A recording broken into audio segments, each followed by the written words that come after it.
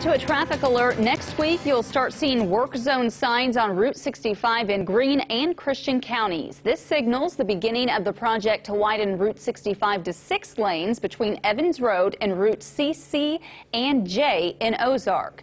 MoDOT says you should expect nighttime lane closures on 65 for now and then lane shifts as the project continues. The $10 million effort is expected to be completed by August of next year.